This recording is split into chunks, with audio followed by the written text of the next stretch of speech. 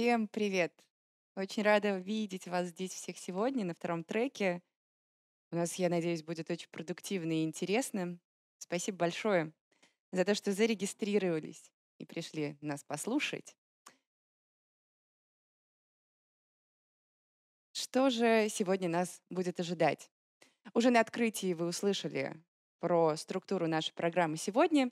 И одним из важных э, моментов, который бы я хотела вам еще раз напомнить, что у всех докладов, э, всем докладам, всем спикерам вы можете задавать вопросы, а лучшие вопросы будут получать билеты Full на весь наш осенний сезон.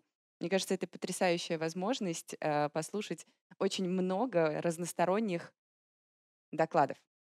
Итак, ну что ж, не будем отнимать время у первого доклада, и я хочу представить э, наших спикеров.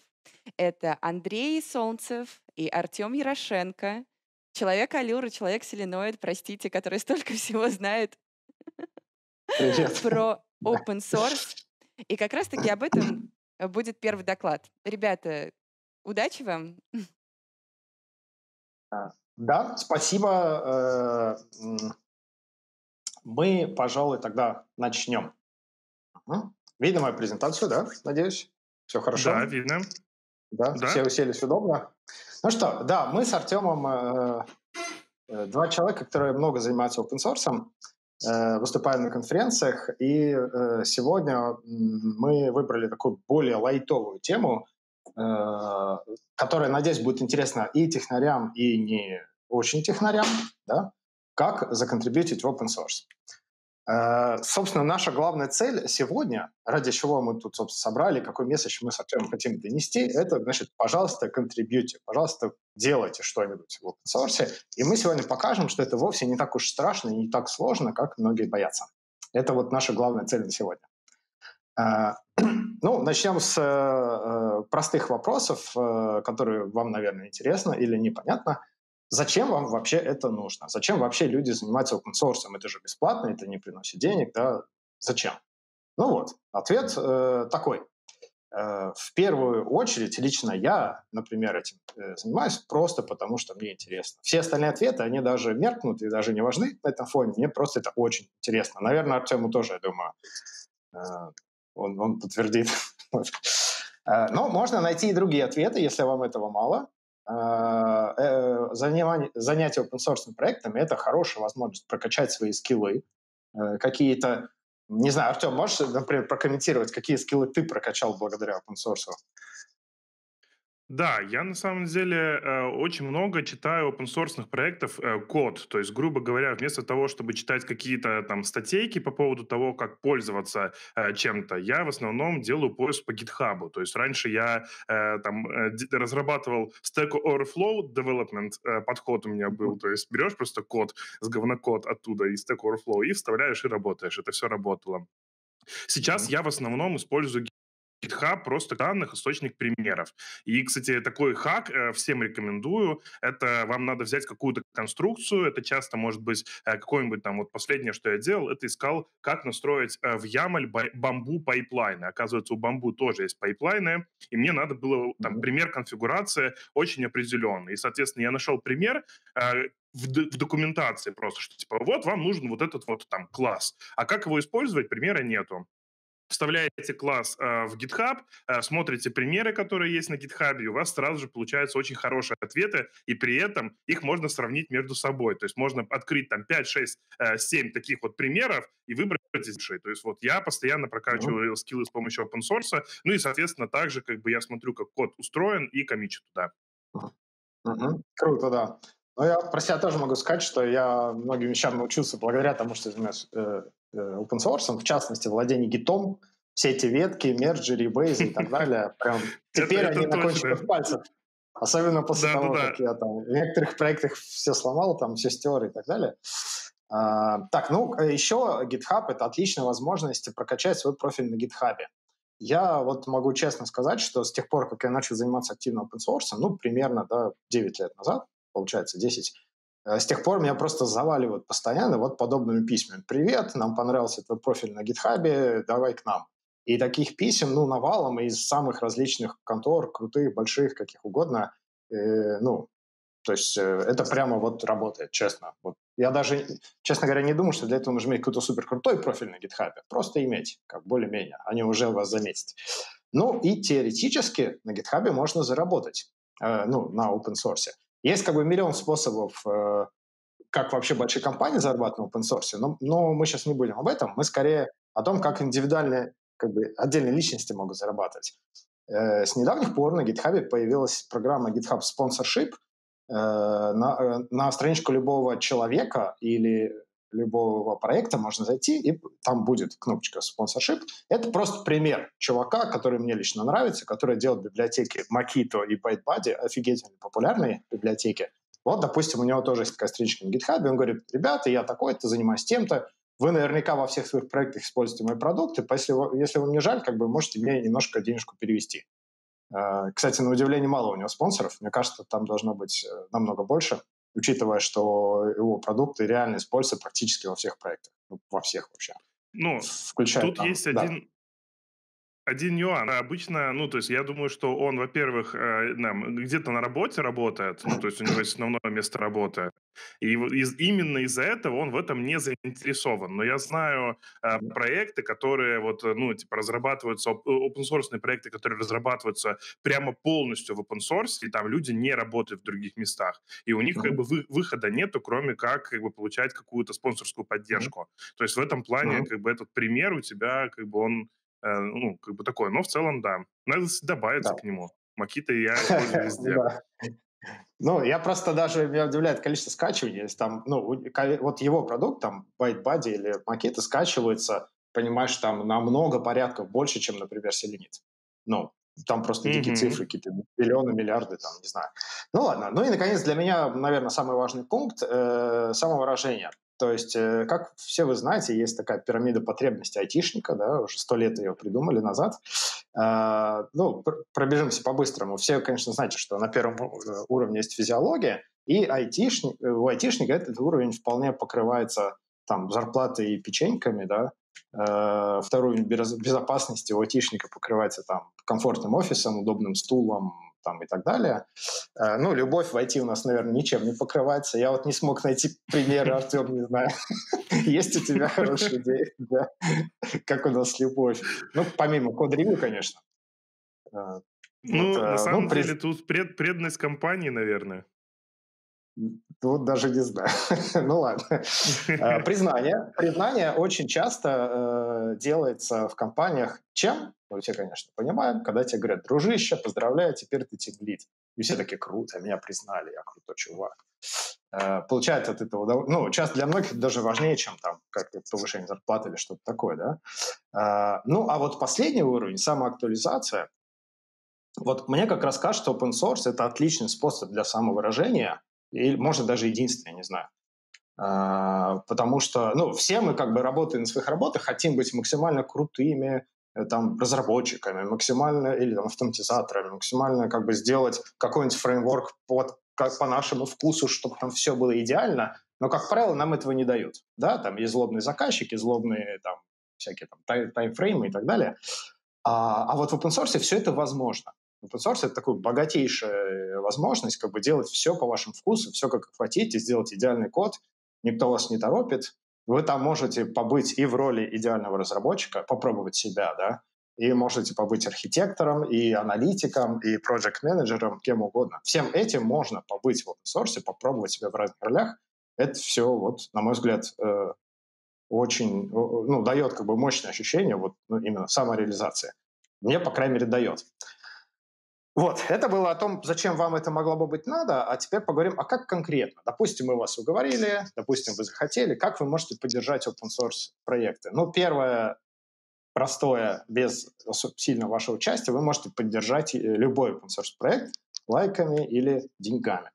Ну, это, это просто, да, то есть чтобы поддержать лайками, достаточно зайти на любую страничку любого open source проекта. Вот, например, JUnit 5, сейчас очень популярный. Вот на GitHub есть такая э, звездочка, stars, да. Вот, может туда кликнуть и поставить ему еще одну звездочку. Э, если вы еще не знали, то настоящие пацаны меряются друг с другом количеством звезд на GitHub. Дальше. Можно хвастаться. У меня тысяча звезд, у меня пять тысяч. А, вот. Ну и, кстати, Артем, а вот ты знаешь, сколько звезд на гитхабе, например, у Алюра? А вот так вот. Вопрос в лоб. Да, 1975. А, ну сейчас проверим. Я ни, ни разу не смотрел, но давай проверим. А, чуть-чуть не получилось. А, или это... Это, это Allure Java. А, э, давай вот Allure Framework нажимай, Allure 2. Ага. И нажимай прямо на звездочки туда. А, вот это прям, я ну, сейчас во-первых, случайно да. поставил звездочку. да. Вот да, сюда, да, да. Да, да. 1986 теперь стало, видишь? С тобой. Все, круто, да. Угу, класс. Но это сейчас был не я, это мой временный аккаунт для этой презентации. Я из-под него делал О. всякие злобные комменты. Так, а, а может Что? быть мы накрутим звездочек? Сделай еще 15 аккаунтов. Слушай, ну э, да, давай, но только не в прямом эфире. Ну окей, хорошо. Вот. Э, чем еще можно поддержать проект? Можно поддержать э, деньгами. Вот, опять же, у любого проекта, ну не любого, а любого, кто себе это настроил, есть такая кнопочка «Спонсор», можно на нее кликнуть и посмотреть. Там обычно люди должны написать, как бы, кто мы, чем мы занимаемся, зачем нам нужны деньги. Там цели могут быть разные, да собственно, за что вы будете платить, и там обычно появляются разные варианты. Вы можете заплатить сам. Я, например, двум проектам настроил, что я там, типа, там, что-то по 5 долларов привожу, да, маленький. Э, ну, вроде с тебя не убудет, да. Э, а можно сделать помощнее варианты, можно уговорить свою компанию подписаться на какой-то более мощный пакет или даже там подписаться на какой-то платный суппорт. Э, вот картинка. К примеру, это, кажется, как раз JUnit 5, когда ты на нее заходишь, он тебе предлагает, вот тут есть разные варианты. Как, вот первый это, скорее всего, для личностей, да, для людей, а следующий это, скорее всего, уже для каких-то компаний, которые таким образом могут, ну, как бы купить себе некую уверенность, что этот проект будет продолжаться и не забросится в скором времени. А, потому что, ну, не знаю, как вы, а я встречал много проектов, которые вроде бы все используем, очень много используем, а раз, и они умерли, и их больше никто не поддерживает, да. Вот таким образом можно их как-то поддержать. То есть если, у вас бизнес, если ваш бизнес от этого зависит, может быть, это хорошая идея. Ну, еще одна шутеха. Настоящие CTO да, меряются размеры спонсорских пакетов на GitHub. А, но ну это был э, легкий способ. Э, а теперь мы пойдем к более э, правильному, важному способу, как лично ты можешь помочь open source проекту. Да? И э, очень важный наш месседж сейчас в том, э, что это не обязательно должен быть код. Э, э, все обычно думают, что ой, надо коммитить, надо уметь программировать, а я не умею. Так вот, наш point как мейнтейнеров э, популярных проектов в том, что не только нам код нужен, и даже не столько нам код нужен вы можете помочь множеством других разных способов. В первую очередь вы можете попробовать э, писать или отвечать на вопросы других людей в форумах, в чатиках, на Stack Overflow и еще на куче подобных сайтов. От этого уже есть большая помощь. Я, например, могу за себя сказать, что когда вот, э, я запустил Selenit, э, первые, не знаю, год-два я сам регистрировался во всех возможных чатиках и отвечал на всякие там вопросы людей. И вот впервые у меня настал момент, когда я понял, о, началось, когда я увидел, что на вопрос чувака про селенит ответил другой чувак. Э, и я такой, о, все, это, это оно, это случилось. И теперь уже прямо это работает так, что на очень многие вопросы я даже не успеваю ответить, потому что ответ прилетает от кого-то другого. И мне это, для меня это о, огромная польза, просто неоценимая. Э, вот. А, Тут что я, наверное, с тобой соглашусь. Mm-hmm.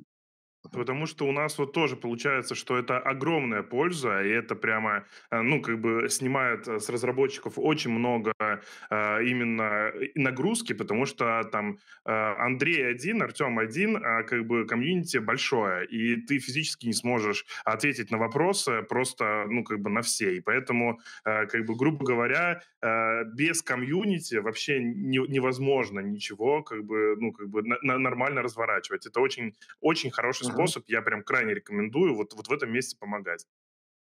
Да, круто. Но э, что вы еще можете сделать? Э, на самом деле много чего. Можете написать пост в личном блоге или в корпоративном блоге. Э, это может показаться мелочью. Ну, например, знаешь, а зачем я буду писать пост, если про селенит и так много написано?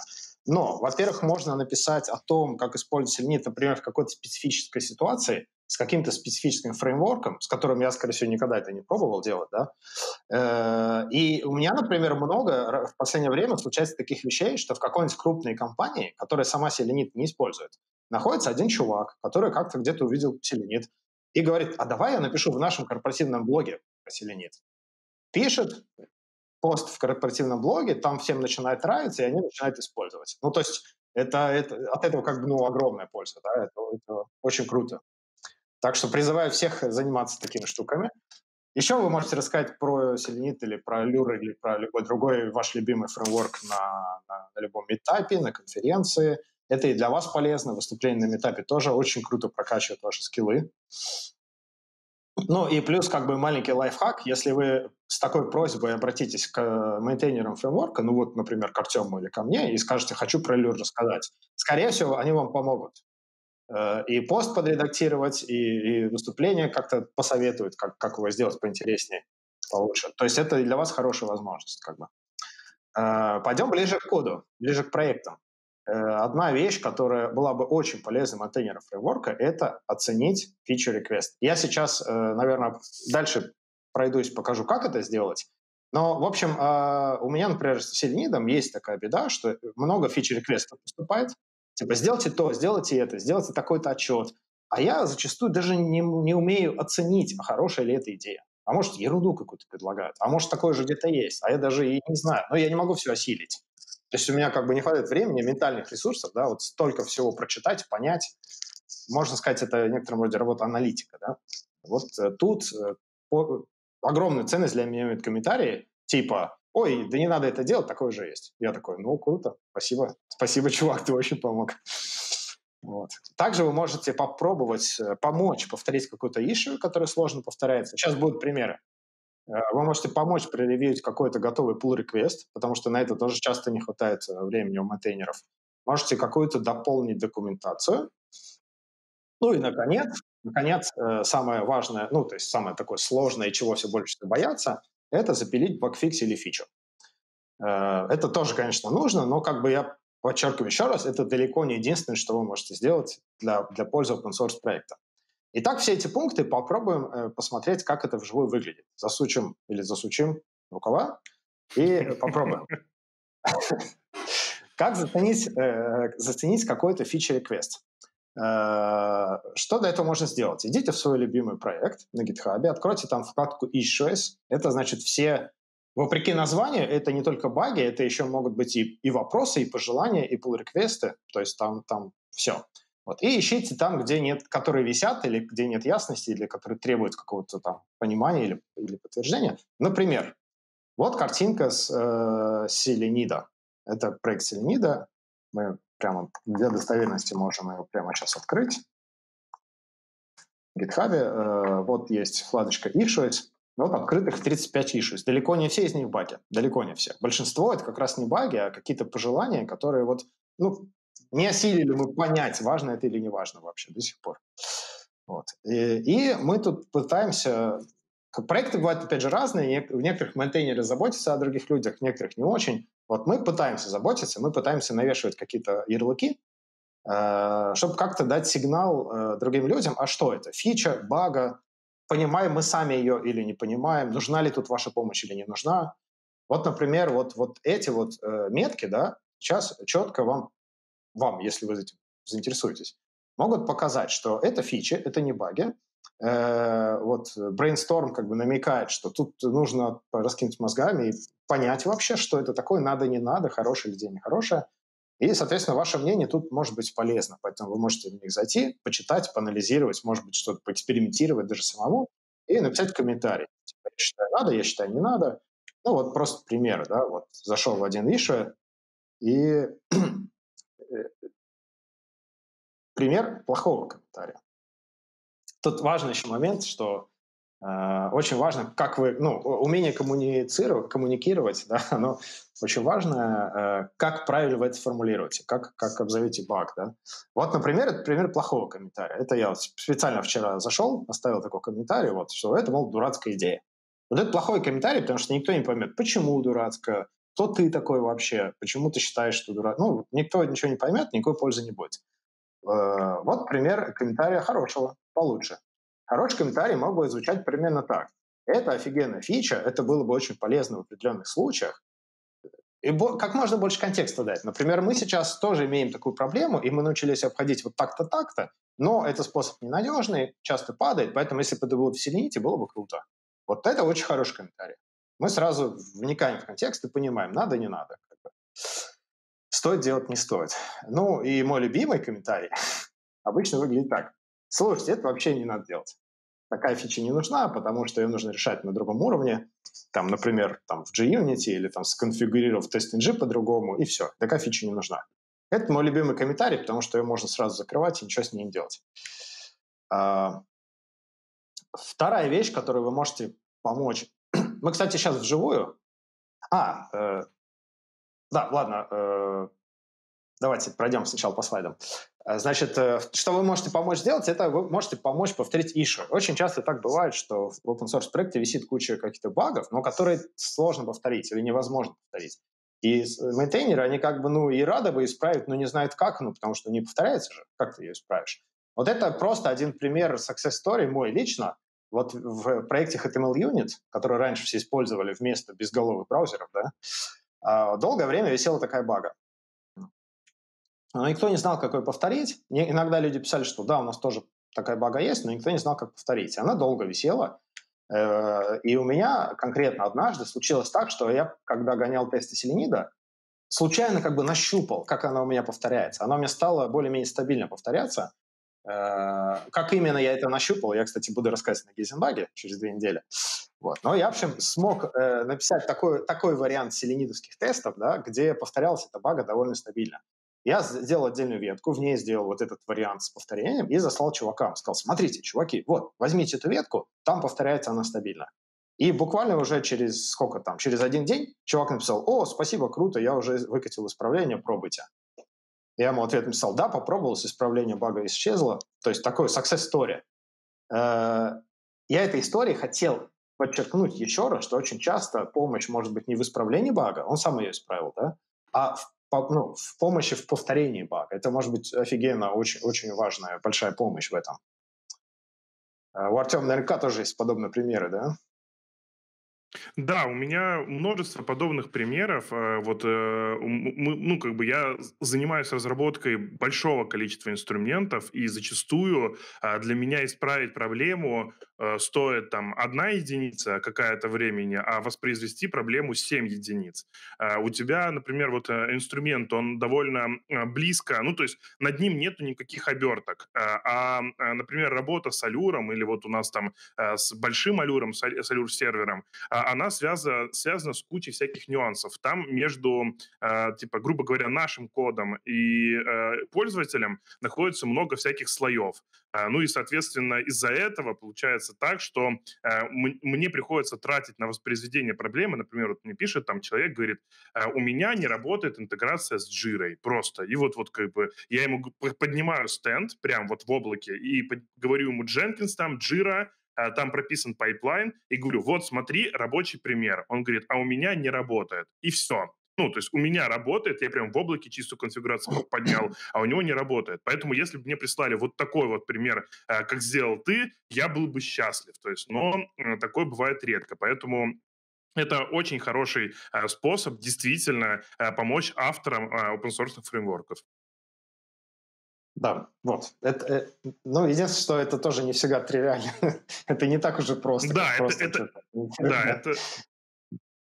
Но если вы сами этим фреймворком пользуетесь, ведь мы же говорим о том, что вряд ли вы пойдете контрибьютить в э, проект, которым вы не пользуетесь. Ну, как-то странно, да? Скорее всего, вы сами им пользуетесь, mm-hmm. у вас тоже большой опыт, и вы можете хотя бы даже, если не совсем уж повторить, то хотя бы намекнуть, что у нас часто эта проблема повторяется, и, видимо, в ситуациях, когда, там, не знаю, памяти мало, сети нет или еще что-то, да, или там, видимо, по выходным, и этим уже можете дать какой-то намек, как бы.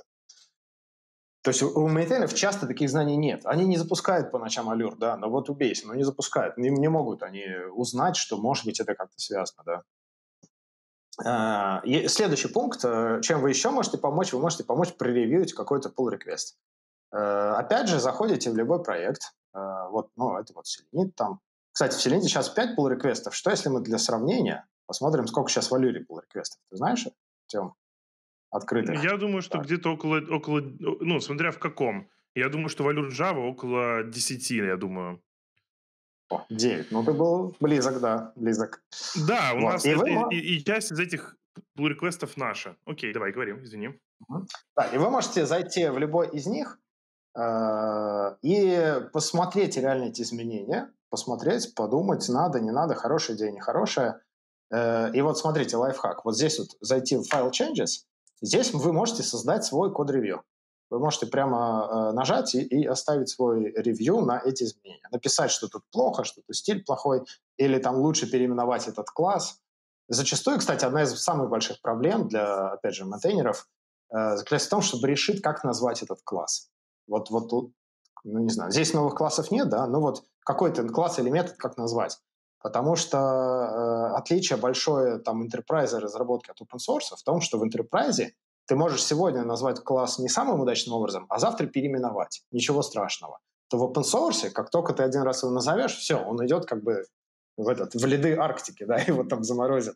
И уже страшно, коленки дрожат. И каждый раз думаешь, блин, как же все-таки получше название там. Вот здесь вот скриншот лаборатории или там скриншутер или фотографер или еще как-нибудь. Ну, вот страшно, да. Поэтому помощь людей и мнение других людей, они может, могут быть очень ценны даже в таких вопросах тупо как что-то назвать. А, так, это я уже показал, что заходим сюда, review changes и оставляем какой-нибудь ревью. А, я, например, вчера специально для этой презентации создал а, новый искусственный аккаунт, да, вот, зашел, вот, оставил такой ревью для, для одного pull реквеста в Allure. Вот, вот, видите. Ну, э, то есть понятно, что это, конечно, плохой пример. То есть, ну, как я уже говорил, лучше конструктивно говорить, почему плохо, почему хорошо, как лучше исправить. Вот. Ну, вот э, можно и такое оставить. Вот. А, значит, э, повышаем градус, попытаемся теперь понять, как можно это делать не только с помощью комментариев и обмена мнением и такой, ну, аналитической работы, а и как можно прямо залезть в код и поменять. Чтобы поменять код в любом source проекте, есть два способа – легкий и продвинутый. Легкий способ хорош тем, что там прямо не надо вообще э, уметь пользоваться гитом, что-то компилировать и так далее. Многие про него не знают, но на самом деле это крутейший способ. Э, я его сейчас прям покажу. Заходим в любой проект на GitHub, GitHub и жмем кнопочку Edit. Вот, э, в любой файл на GitHub открываем, вот здесь появляется кнопочка Edit. Мы сейчас прямо с вами Э, попробуем это сделать. Например, вот у меня уже есть мой любимый проект, давайте, GitHub э, WebDriver Manager.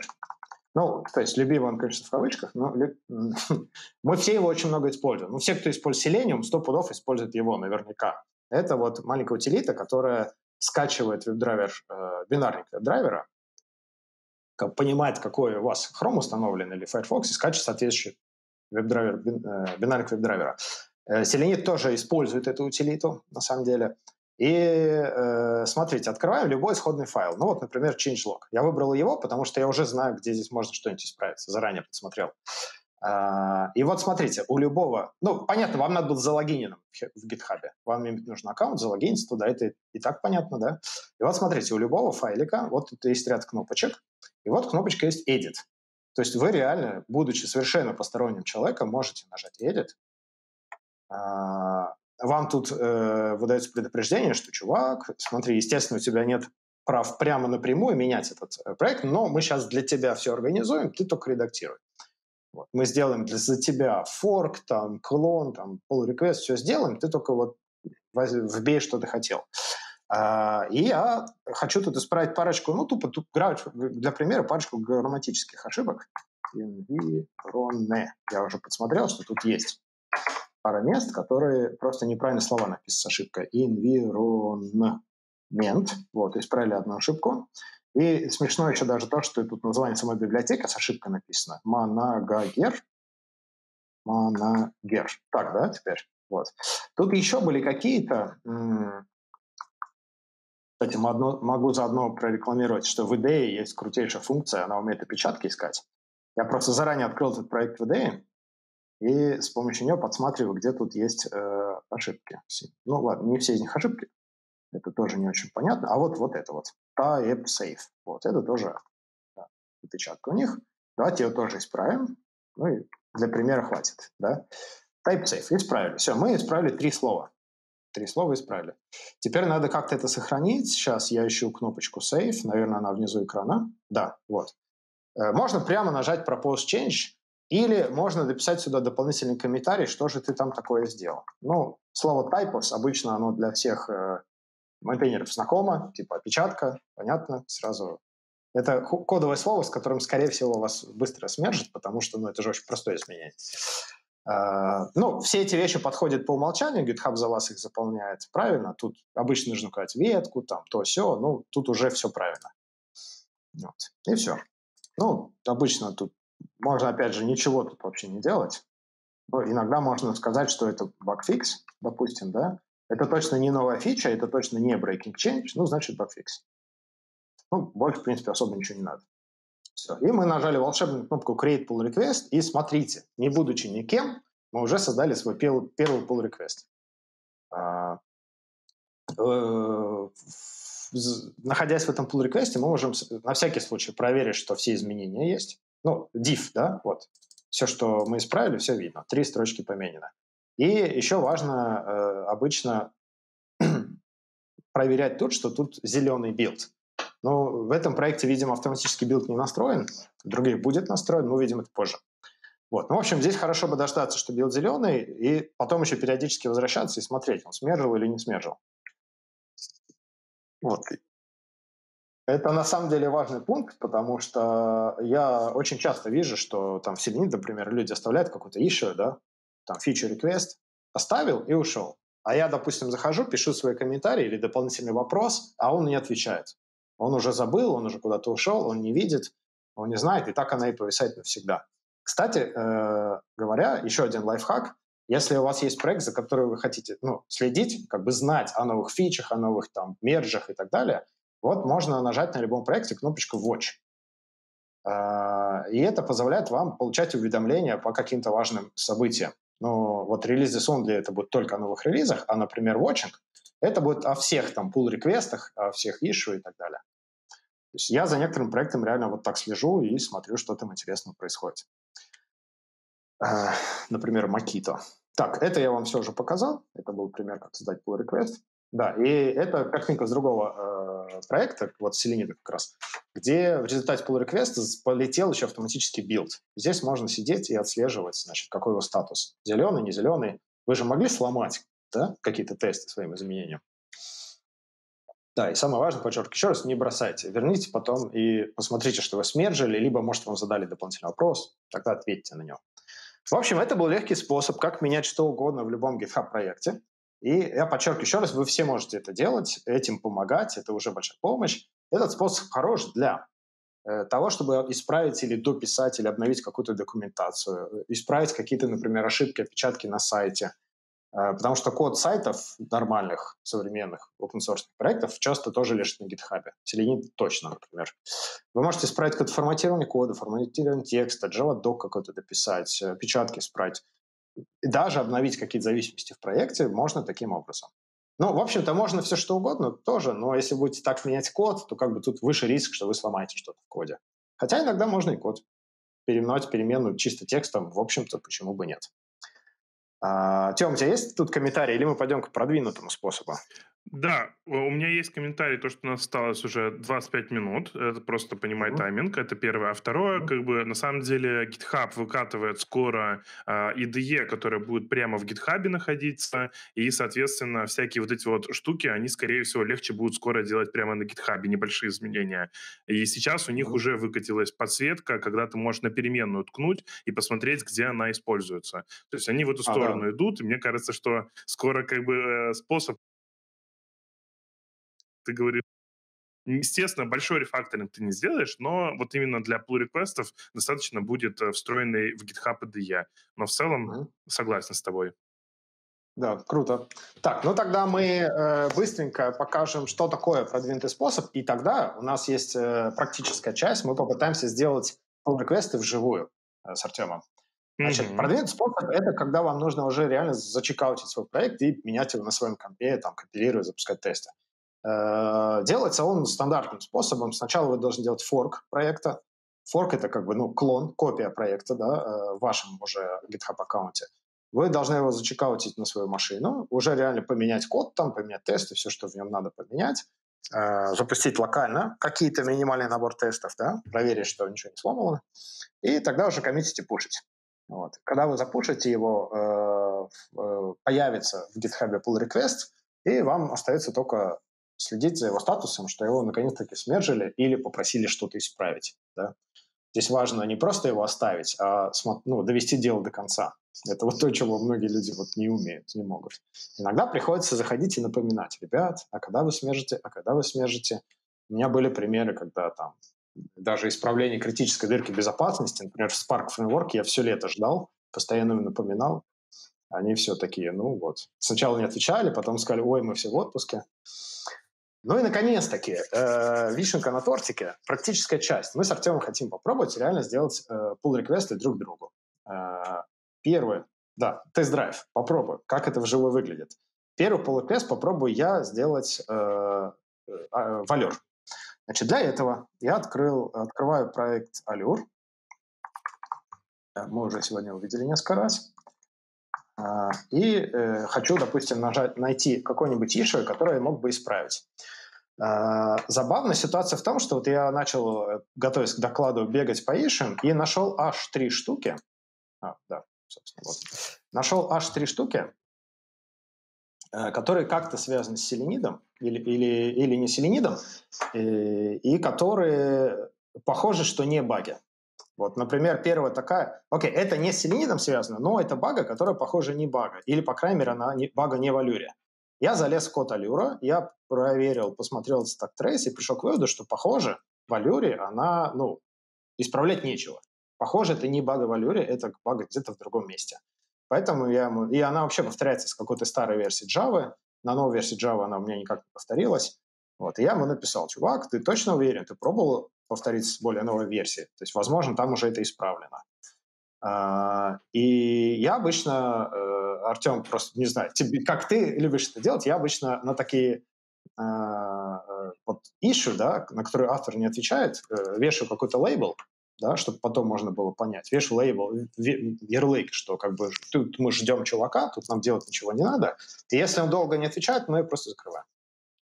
Потому что, ну, на самом деле закрыть ишу не страшно, потому что он все еще, даже в закрытой ише, сможет потом позже, когда он наконец очнется, да, сможет позже оставить комментарий, что не-не, я научился повторять, вот информация, и можем тогда переоткрыть эту ишу. А сейчас, вот не знаю, я бы на твоем месте, наверное, даже закрыл бы ее. Если, если хочешь. Сделано. О, сделано, сейчас зарефрешим. Вот, все, закрыто, кайф. Видишь, как вот это мне уже, э, мне уже удалось помочь проекту Allure, даже не поменяв ни строчки кода. Э, вторая issue, я зашел и посмотрел, что чувак жалуется, что, значит, у него при запуске Allure сыпется такой-то exception, а если взять предыдущую версию Allure 2.13.5, то exception не сыпется. То есть конкретно что-то поменялось между этими двумя версиями. Вот это пример хорошего описания issue, потому что очень четко понятно, где искать, я реально зачекаутил такую версию и такую версию, сделал div, увидел, что изменилось, понял, в чем проблема, а, и в итоге я ему, по сути, откомментировал, что, чувак, в Allure-то, опять же, багов нет. Багов в твоем демо-проекте. Ты как бы Allure обновил, а версию JUnit не обновил, и они друг с другом не работают. Просто я, даже ему заслал pull request и написал, что, чувак, твою проблему исправляет на самом деле обновление JUnit в твоем проекте. Вот. вот тоже помог и Allure, и проекту. А в Allure эту штуку можно Да, это закрывать. прикольно. Вот. Это круто. Uh, и третья фича как раз, issue э, был как раз связан с селенидом. Он зарепортовал такую багу. Кстати, тоже хороший uh, баг-репорт, uh, потому что он четко описывает, что делать. Вот есть код для повторения. Он говорит, что я объявил patch object, в нем объявил несколько неиспользуемых полей, неиспользуемых полей, а, а они зачем-то отображаются в отчете Allure. Причем видно, что на них потрачено 0 секунд, то есть их не использовали, их не искали, но в отчете эти строчки есть. Я сначала ломанулся было исправлять эту багу, а потом понял, что баг-то не в Allure, а в Селениде. Это Селенид присылает Allure такие ивенты, да, не, ну, лишние. Я ему написал, что, слушай, это бага в Селениде, как бы там давай заводи, там будем исправлять, а в Allure можно закрывать ее. Вот. Я даже написал Артему, что вон, смотри, можно закрывать. Вот. То есть уже... уже И Артем закрыл. Вот, кайф. Видишь, как то есть, ну, на самом деле, как бы для мейнтейнера это большая помощь. То есть, ну, это очень мозг... большая помощь. Я с тобой согласен. Но человеческий мозг он не может держать слишком много вещей одновременно открытыми. Он, если он сегодня исправил одну-две ишу, или даже не исправил, а просто прошелся, посмотрел на них, чего-то анализировал, все, мозг кончается, он дальше не может думать. То есть, э, ну, поэтому чем меньше таких вот как бы отвлечений, да, или, э, ну, тем лучше. Так, э, и э, поскольку я не нашел ишу нормального, который я мог бы полноценно исправить, я подумал, а сделаю-ка я для примера простое исправление в. Для этого я захожу в Allure, нажимаю fork, да, мы уже говорили. Э, вот есть fork. Теперь его нужно сделать git clone. Вот. URL вашего URL репозитория всегда вот здесь под кнопочкой code есть. Теперь идем в командную строку. Надеюсь, все хорошо видно вызываем git а, Если проект не очень большой, это должно быть довольно быстро. Вот. Заходим в папку проекта. Ой. А, советую первым делом всегда попробовать, а компилируется ли он вообще. Потому что бывает такое, что уже даже это не компилируется. Вы даже еще ничего не поменяли, а он уже не компилируется. То есть кажется странным, но у меня такое нередко случалось. Э, берешь проект нулевой, ничего не меняешь, уже там тесты сыпятся или даже не компилируются. Вот. Но заранее могу сказать, что этот скомпилируется. Вот. И э, есть одна вещь, которую э, просто лайфхак, да, если вы хотите попробовать сделать куда-то pull request, лайфхак — это обновить Gradle или э, версию какой-нибудь зависимости. Вот видите, сейчас Allure использует Gradle 6.6.1, а уже есть 6.7 с сайта Градла можно даже э, подсмотреть э, команду, как обновить на более новую версию. Я вот, я вот часто это делаю, да. Сейчас. Э, вот. Вот она командочка, чтобы обновить на более новую версию. И он сейчас поставит сюда Gradle 6.7 вместо старого. Вот. Проверяем. Видим, что теперь в проекте используется Gradle 6.7. По-хорошему, нам нужно и запустить тесты еще, чтобы убедиться, что ничего не сломалось. Ну, в данном случае я уже заранее знаю, что тест запустится, поэтому можем не ждать. Мы можем сразу закоммитить. Либо, э, допустим, открыть этот проект в IDE. О, я, я не знаю, что это была за ошибка, но неважно. Так. А, можем сразу открыть проект в IDE, просто чтобы... Ну, мне лично нравится коммитить из IDE. Э, по-моему, это проще, чем из э, командной строки. Нагляднее, все видно. Э, вот мы видим, что поменялось 4 файла. Давайте мы их сразу слепо закоммитим. В принципе, самый важный файл – это вот версия Градла. Градла, как правильно по-русски. Как сказал бы Пушкин.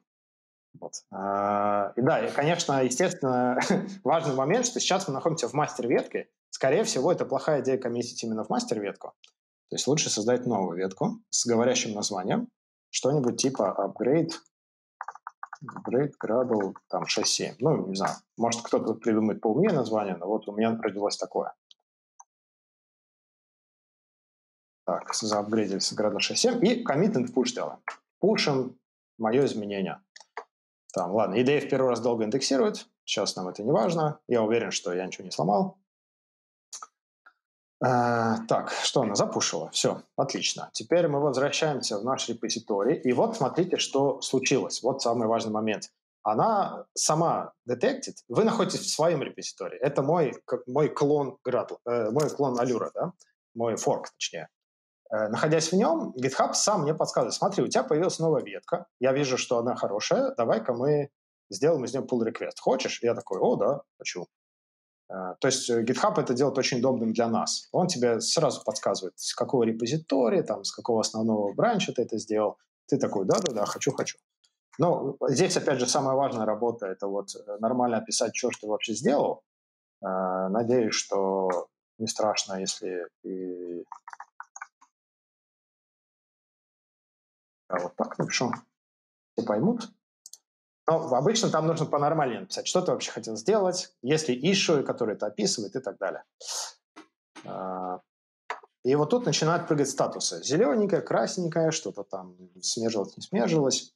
Так, вот сейчас э, у Артема настроены какие-то э, какие-то правила, которые не позволяют его сразу смешать, да? Хочешь об этом рассказать? Хочешь поговорить да. об этом? Так. На самом деле, э, это как бы отдельная такая э, лекция, я бы сказал. А, ну, во многих репозиториях настроены правила автоматизации, автоматического тестирования. У нас сейчас э, ивент пришел в Jenkins, и Jenkins скоро будет поднимать, точнее, он сейчас поднимает агент в DigitalOcean и запустит тестирование там. Э, мы потихонечку mm-hmm. мигрируем на GitHub Actions. Э, в GitHub Actions ты бы сразу увидел о том, что типа GitHub, GitHub Action э, стартанул. Ну и плюс mm-hmm. второе правило это, что нужен хотя бы один ревьюер, чтобы это можно было э, там смержить. То есть это политика, которая, mm-hmm. ну типа, хотя бы один ревью надо сделать. А мы как раз можем сделать так, что ты, мы переключимся на твой экран, и ты покажешь, как этот да? pull request увидит э, мейнтейнер проекта как раз, да? Чтобы mm-hmm. увидеть, э, из, из первых рук узнать. А, так. Теперь я не шарю больше свой экран. Угу. Сейчас, секундочку. Да, я шарю экран. А, надеюсь, видно мой экран. Да, да, я вижу, да. Да, а, вот, собственно, я вижу это вот с этой стороны примерно таким вот образом. То есть вот у меня пошли, э, ну, как бы пошли проверки. А мне надо так или иначе дождаться CI, пока он поднимется и так далее. Это вот у меня открывается CI, э, вот, видишь, у нас проводится Jenkins DigitalOcean, а вот у меня request, на так, то есть угу. Алло. У меня, у меня сейчас пропадало Обновить. Покажу. Ну вот, и сейчас Jenkins отпишется сюда о том, что как бы у нас э, билд пошел. Вот, смотри. Видишь, Continuous Integration, а, Jenkins PR Merge. Ну и, соответственно, давай как бы пока оставим его, пусть он у нас а, здесь а, помержится. Кстати, заметь, да. что у нас тут сделано этот, э, этот э, лиценз КЛА, то есть ты типа подписал уже, видимо, раньше контрибьютор лиценз agreement. Mm-hmm. Ну, короче, в общем, mm-hmm. прикольно. То есть я типа, такой pull request mm-hmm. вижу. А давай как я пробую сделать pull request э, к тебе. Я нашел вот такую вот э, issue, э, по поводу того, mm-hmm. чтобы отображать current URL на странице, на, в сообщении об ошибке. Я на самом деле согласен с автором. Э, тут есть и за, и против. Основное против заключается в том, что сейчас э, все э, одностраничные приложения, и URL типа будет не настолько показательный. Но я, честно говоря, с этим не согласен. Мне кажется, что это вообще прекрасная идея, потому что вот я вижу, что тут есть как бы некоторые expected, я вижу, что есть скриншот, но правда не хватает некоторого, ну типа, а где я нахожусь? Ну и, соответственно, угу. что я делаю? Я также делаю форк, вот сюда вот нажимаю fork, у меня уже есть fork, но тем не менее, а, вот у меня появился fork. А, После этого я делаю его уклон, но я сделать примерно следующим образом. У меня уже скачано, у меня есть два ремоута. Я обычно делаю так, что у меня есть вот этот ремоут, это Origin, если вы знаете Git, то вы понимаете, о чем. Если не знаете, то надо почитать про мультиремоут. То есть у меня есть ссылка на вот этот репозиторий, я ее всегда оставляю как Origin, э, потому что с большой вероятностью, если я буду контрибьютить э, в какой-то инструмент, например, в Selenium долгое время, то мне потом дадут права, и я смогу сам бранчи создавать. Ну и, соответственно, вот здесь вот у меня Origin называется Ярошенко М, ну и когда я буду делать бранчик, я буду делать его в Ярошенко М. После этого я а, открываю а, новый проектик. А, это developer, нет, developer, Selenit, Selenit. Вот таким вот образом. Забавно, что ты открывал проект из консоли, а комит делал из IDE. А я предпочитаю открывать проект из IDE, а комит делать из консоли. Да. Дальше могу заметить от себя, что очень круто сформулирована ошибка очень круто, прямо вот вообще, потому что А, я, например, решил поправить вот такую вот ошибку, и мне надо понять, куда искать. Что я делаю? Раз вот эта штука печатается, значит, по ней можно поискать. А, дальше я просто делал вот так вот, поиск э, in-pass, и указал page source. И сразу же нашел места, где оно используется. А, Там Кликнул на него, и вот, вот, вот. Да, ну, тем не менее, ну, как бы вот, вот ровно оно. То есть, типа, грубо uh-huh. говоря, это вот, э, ну, типа, добавление к твоему месседжу о том, что, ребята, формулируйте, формулируйте э, ошибку, ну, э, баг-репорт или там фич request максимально подробно, потому что вот мне стоило ноль времени обнаружить место, где мне надо э, коммитить. А дальше uh-huh. я смотрю, что у нас тут проводится скриншот пас, и у нас есть информация информатор. Соответственно, мне надо э, сделать следующее. То есть я беру вот таким вот образом, э, пишу string, screen, э, shot, path. И делаю вот так вот. Потому что у нас сейчас тут появится э, несколько аргументов, и они будут ужасно выглядеть, если они пойдут э, влево, вот туда вот. Э, ну и, соответственно, дальше мы делаем так. String URL равно э, драйвер get WebDriver э, get current URL. А, соответственно, в принципе, вот так вот. А, потом мы пробрасываем сюда URL. А, я, если честно, не знаю, используется вот этот вот код или нет.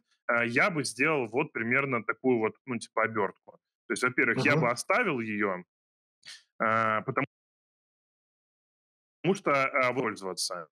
Сделал string URL, а порядок аргументов в целом не особо важен. И здесь выбрал бы эм, там return, return screenshot, config, null и screenshot pass. Uh-huh. Ну и, соответственно, мне теперь надо обработать, э, ну, типа, понятие, что такое URL null.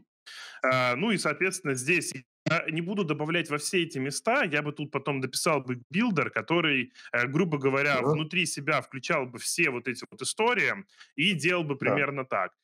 If, ну, типа, if boolean, то тогда провайд, я сделал один интерфейсик, uh-huh. лямбдочку, у которого да, есть да, метод да. типа enabled, э, и реализация, типа, что она добавляет. Кто-то будет добавлять ссылку на скриншот, кто-то будет добавлять ссылку на, ну, типа, на HTML-файл, да. но сейчас это просто mm-hmm. долго, поэтому я с этим запариваться не буду, и впендерю это прямо сюда. То есть вот, mm-hmm. вот, вот, вот, вот тут вот оставлю еще одну условную логику. Ну, я бы написал да. примерно так.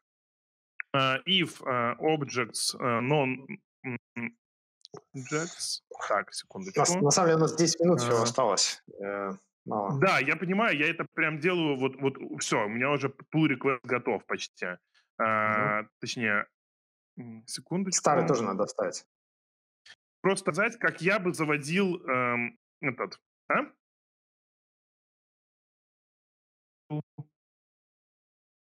URL uh, S N.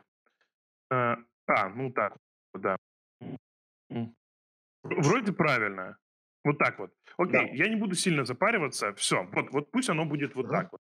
А, uh-huh. Дальше а, я делаю git статус, git checkout минус b, а, fix uh-huh. и указываю номер issue. А, uh-huh. У нас это issue 980. Да. Fix 980. Git commit минус... А, git add git commit uh-huh. минус message uh, fixes. Uh, Заметьте, что uh-huh. очень прикольно делать вот такие вот комментарии, где вы указываете issue. Uh, и дальше я делаю git push uh, fix uh, не origin, origin у меня доступа нету, а я делаю uh, свой форк. Uh-huh. Uh, shen Все, у меня сейчас приедет и мне нравится, да, очень да. нравится вот эта фича. Вот, смотри, бац, и я перехожу сразу же на создание request. А, тут okay. я описываю, и обычно я примерно делаю так. Во-первых, я сделаю драфт, а, потому uh-huh. что я еще не знаю. А, я пишу possible а, fix, а, fixes 980, а, uh-huh. потом а, что пишу, блин, извините. Слишком умно. Меня лагает этот Блин. Escape, escape надо нажать. А, да. угу. Action list. И провожу еще action list, который будет состоять из этого, из следующих задач. Provide tests, refactor, uh, refactor um, мета-эддинг, ну, типа, и, грубо говоря, uh-huh. я еще провожу э, какой-то списочек того, как я вижу решение этой задачи. Uh-huh. То есть вот это вот я закончил, э, first draft. А, ну и, соответственно, uh-huh. вот это вот я тоже пока, допустим, там, грубо говоря, э, оставлю, uh-huh. и у меня будет вот таким вот образом. Да, да. что ты будешь делать? Escape, escape Стоп. нажми. Вот и draft pull request. Да. круто. Ну и, соответственно, смотрите, у меня pull request получается драфт, и я потом э, пишу э, Андрей Солнцев. Э, could uh, you uh, как, accept uh, my концепт. А, потому что да. я сначала хочу проверить концептуально, правильно я думаю или нет. И после того, как Андрей про это мне ответит, я запроважу уже информацию о тестах и э, запроважу рефакторинг вот этой вот метаинформации. А я передаю слово тебе обратно. Да, класс, спасибо. Э, я снова пошарю свой экран. Э, видно, да, экран? Да. Так, э, да, э, я теперь быстренько могу показать, что да, у меня pull request появился. На самом-то деле мне даже наверняка пришел e-mail по поводу этого pull request. Ну, где-то здесь у меня он там сейчас должен появиться. Да, вот, пожалуйста, смотрите. E-mail от Артема, mm-hmm. что он мне сделал pull request. Я прям могу сюда mm-hmm. кликнуть, все посмотреть. И, и здесь тоже могу его кликнуть, посмотреть. Э, здесь уже, э, видите, э, начался билд. Вот. У нас, э, значит, на Travis CI автоматически запускается билд. Э, он не во всем удобен, но зато любой посторонний может посмотреть статус билда. Какие тесты пробежали, какие mm-hmm. упали, почему. Э, вот. И да, мы сейчас не будем до конца его ждать. Да. У нас осталось мало, мало времени, поэтому я покажу парочку последних слайдов. Мы продемонстрировали, как можно послать pull request, вот, и Valure, и Selenit, вот, призываем вас mm-hmm. тоже это делать. И э, это, конечно, на практике не так просто, как, э, как хотелось бы, да, то есть на каждом из этих этапов бывают сложности. Какие? Например, уже чтобы зафоркать проект, бывает сложность непонятно, где вообще искать, где лежат исходники. И бывает много проектов с одинаковым именем, э, он может быть не на GitHub, а в другом где-то месте – например, исходники Java долгое время лежали где-то вообще там в каком-то старом-старом месте. Только недавно их на GitHub, по-моему, перевели. Бывает много форков одного и того же проекта. То есть изначально maintainer уже давно ушел, вместо него кто-то другой поддерживает, потом третий стал поддерживать, и не разберись, где его в итоге исправлять-то, в каком месте. Когда ты меняешь код, тоже непросто. Надо разобраться, какая структура, какие папки, в какую ветку коммитить. Бывает же не только мастер, бывает там всякие там develop ветки, features ветки. Недавно теперь main ветка еще появилась. В общем, это все надо понимать, да. Какую команду запустить локально, чтобы проверить, что ты ничего не сломал. Она тоже бывает очень разная. Больше всего мне бывает Selenium, где какие-то жесткие Go, базель и так далее с кучей параметров. А, что если она упадет даже до твоих изменений? Что делать? Непонятно. Как бы, да. Ну, вот такие сложности бывают. Э, в идеале нужно искать в проекте файлик типа contributing или contributions, и там описано все вот это. Но он тоже, к сожалению, есть не, во всем, не в каждом проекте. Кстати, это хорошая идея для первого pull реквеста Если в проекте такого файла нет, создать его вам. Вам наступить на все эти грабли, создать файл и описать, как его контрибьютить. И самый последний и самый большой вопрос, который есть наверняка у всех наших слушателей, Допустим, вы согласны, вы хотите, вы готовы попробовать, но, но самый большой страх, что всех останавливает, а что если я стесняюсь? Да, вот я могу, конечно, коммитить, но все же увидят мой код, все же увидят, что он не идеальный, что там могут косяки, будут ошибки. Боже мой, там я буду выглядеть глупо, меня там пристыдят, да, меня засмеют. Что делать? Ответ на, это, на этот вопрос, на эти сомнения уже давно-давно дал мастер Йода своим знаменитым высказыванием. А, я его тут привожу. А, а, да, всем на самом деле все равно. Что вы там накоммитили, плохо ли, хорошо ли. Э, я, например, честно скажу, что в Селинде есть места, которые не идеальные, которые мне не нравятся. Даже то место, которое сейчас Артем поменял, на самом деле это неудачный код. Там как бы видно, что в одном методе много ифов, много ответственностей, и он ломается, если там нет HTML. Ну, в общем, не, удач, не самый удачный код, но ничего. Меня же никто не атакует с э, какими-то там наездами, там, никто не угрожает меня подкоролить подворотни из-за того, что я такой код писал. Вообще ничего. Никто ни разу не пожаловался на это. Все нормально, все довольны. Поэтому не переживайте, спокойно э, коммитьте. Коммит, словно тебя никто не видит, да. Пуш, словно тебя никто не слышит. И контрибьют, словно тебя никто никогда не обижал. Да, в общем, смелее засучите рукава и помогайте open source проектам. Отлично. Да, у нас появились вопросики. Давай коротко пробежимся. А какой смысл в открытых Ребят, э, спасибо. лекторам Артем, уже извини, год? пожалуйста, да, извини. я тебя немножечко перебью. Угу. А, я предлагаю все-таки угу. на вопросы начать отвечать уже в дискуссионной зоне, которая начнется сейчас прямо после доклада, а, чтобы Хорошо. более емко, более полно всем этим заниматься. Спасибо большое, получилось очень круто. Ребята, все переходим в дискуссионную зону. А, все еще правильный, самый классный вопрос, э, пожалуйста, передайте нам, и мы его Мгм. с радостью автора этого вопроса наградим э, билетом Full Pass. А всем, кому мало будет Артема и Андрея, приходите, конечно же, на конференцию Гейзенбак. У Андрея будет супер воркшоп, а у Артема будет классный доклад про тест-кейсы. Спасибо вам большое. Да. До встречи. Да, Спасибо спасибо. тебе. Пока.